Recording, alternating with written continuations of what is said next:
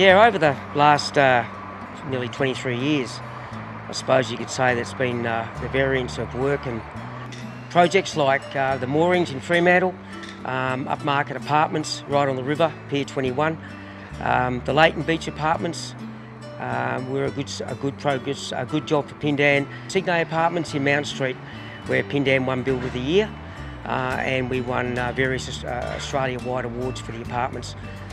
Yeah, people, uh, dedicated people like um, the late Terry, Terry Sayers and John Skinner, who um, always gave 100%. Oh, working with Glen, he's a good, honest, hard worker. Um, pretty efficient, really good at his job. He's one of our senior guys now. Um, he's obviously been with us for a while and I worked with him when I was younger. He spent a lot of time and effort in making sure he's teaching you the right things, um, which he still does today with the younger guys coming through the ranks.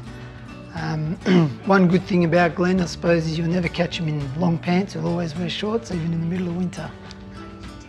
Glen adds value uh, to our team by bringing out the best in both our subbies and, and the team project team that works on, on his jobs. He's a little bull terrier and he um, he produces some great outcomes and um, no job is too big for him and uh, and he, he, wears his heart on his sleeve. He's, he's one of our uh, better operators and um, yeah, uh, he's very respected right across the industry.